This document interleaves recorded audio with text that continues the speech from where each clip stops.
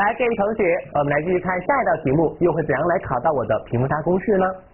学士把一些树苗呢栽种成了一个尽量大的实心方阵，结果呢发现还多出了五棵树苗。后来呢又运来了一十八棵树苗，恰好呢可以补成一个更大的实心方阵。问后来的方阵最外层每一条边会有几棵树苗呢？好，在这里面出现了一个词语叫做实心方阵。那这个呢可能有对于之前可能没有接触过课外数学同学来讲会稍微有点点陌生。咱们举个例子，简单一看你就能够了解了。其实从名字当中，大家能看得出来，实心方阵，方方正正的，对不对？比如说，咱们举个简单的例子，咱们找九位同学，让这九位同学这样站，每行呢站三位同学，让他们一共站三行，并且呢，每两个人之间，对吧？无论是横着看、竖着看，相邻的两个人之间的距离都是相等的。那么最后我们组成的这个图形，大家来看一下，如果你用线把它连起来，是不是就是一个正方形了吧？嗯。那咱们就把这个叫做方阵。那这里面出现了一个词语，还有叫做实心儿。嗯，那也就意味着实心，那很明显，那意味着还有可能会有空心空心。那它们俩有什么区别呢？其实通过这个图简单一做处理，你就能够对比出来了。比如说，我把中间这个人给他拿掉，那么你看剩下的八个人，他们组成的图案是不是就是这个样子的？嗯，这个你把外面的这一线连上，是不是也是一个正方形？但是跟左边的图相比，你发现它里面这儿空了空着了，对不对？所以咱就把这种叫做实心方阵，把这种叫做空心方阵。好了，那接下来各位同学，大家就要考考各位同学了。如果我最后组成的是一个实心方阵，那咱们刚才解释了，那你的每行每列是不是都得是一样的数量吧？嗯，那也就意味着，如果像这道题咱们是用树苗的话来组成，那么最后你想要组成一个实心方阵，那么这个树苗的总数它应该是一个什么样的数呢？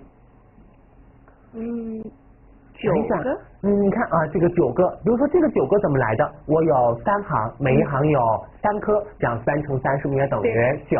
那如果比如说我组成的更大一点的实心方阵，我呢有四行，那每行肯定应该就有四棵树苗，那它的数量结果就是四乘四等于十六。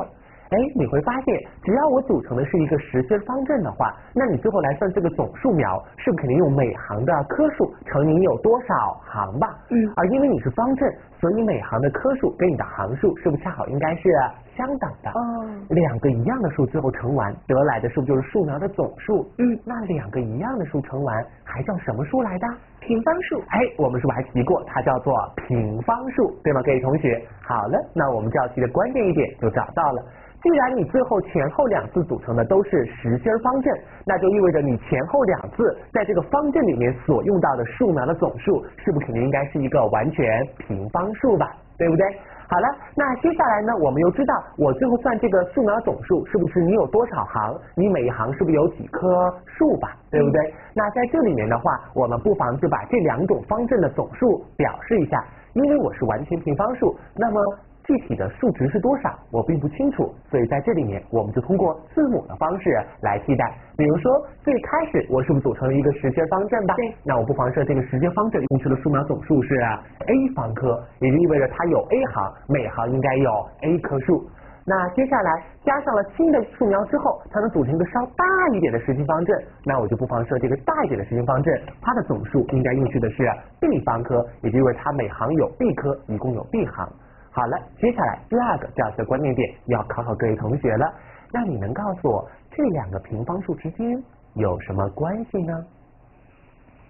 想一想啊，原来的树苗发现可以组成一个尽可能大的实心方阵之后，是不是多了五棵？对也就是我把这五棵拿掉，那剩下的这个数量也就是 a 方，是不是恰好是一个完全平方数吧？嗯，那接下来我又运来了十八棵树苗，再加上你之前没用到的那五棵树苗和原来的这个方阵再进行适当的组合之后，又能变成一个新的方阵，用去了 b 方棵树苗。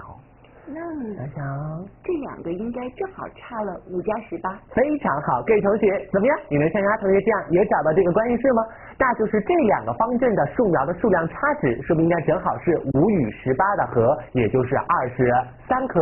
换句话说，那就是 b 方减 a 方，是不是应该等于五加十八，也就是二十三？好了，各位同学，那你看我出来了，b 方减 a 方，那自然而然马上就应该想的平方差。很好，那么 b 方减 a 方，利用平方公式展开，当然是应该是 b 加 a 的和乘以 b 减 a 的差，应该等于二十三。你是 a 减啊？为什么不是 a 减 b 是吗？好吧，这位同学，那你告诉我，如果 a 减 b，那么前面是怎么提来的？是谁方减谁方？a 方减 b 方。那我现在是 b 方减 a 方，你跟我们之前的公式不不一样了，对吧？所以在这里，大家老师也提个醒，当我们来利用公式解题的时候，记住不一定要一一定不要生搬硬套，一定要明白我们的公式就是一个数的平方减另外一个数的平方等于这两个数的和乘以这两个数的差。那很明显，你的谁在前面，最后的那个差值是不是也是谁在前面呢？那自然而然，现在我的 b 方在前面，所以自然而然后面就是 b 减 a。那这这能解得出来 a 和 b 的值吗？是啊。哎，那这个时候同学们要想，因为我用的是树苗，对吧？咱肯定是热爱这个环境的，对吧？也是保护环境的。咱这个树苗能不能出来什么半棵呀？什么二分之一棵呀？或者三分之一棵呀？这肯定不能的。咱用的是不是都一棵一棵完整的树苗吧？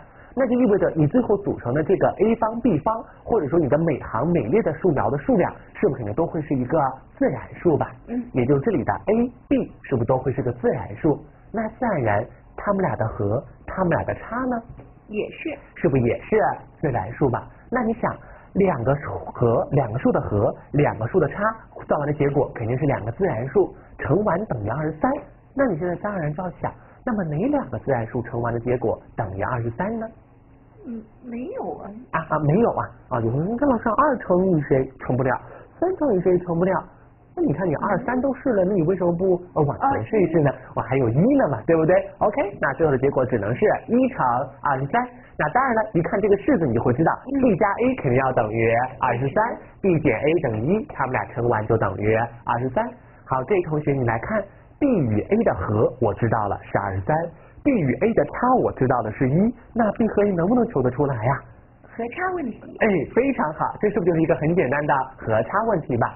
好了，那么最后利用和差问题的计算办法，我们可以很容易求出来 b 等于十二，a 应该等于十一。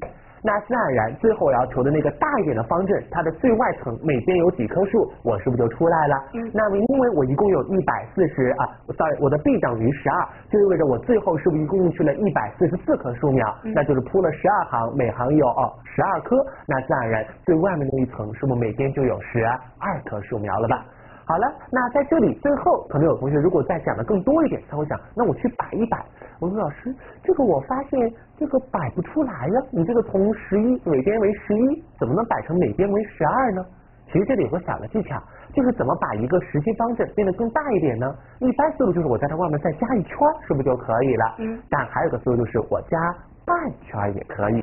举个例子，比如说咱们这个三的。三乘三的这个实心方阵，我呢给它在外围加这样的几棵树苗，你看我加了一个半圈，它是不是组成的也是一个实心方阵吧？所以自然而然，我们的这道题目就是用这个方法可以构造而成了。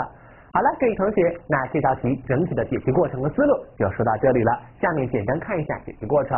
那最后呢，我们可以能够算得出来，后来方阵的最外层每边应该会有十二棵树苗了。那最后，对于这道小题来讲，需要同学知道的一个小小的关键点，那就是对于实心方阵来讲，你要能明白它的总数应该就是一个平方数，而有了这个，我们这道题目就可以用平方公式来解决。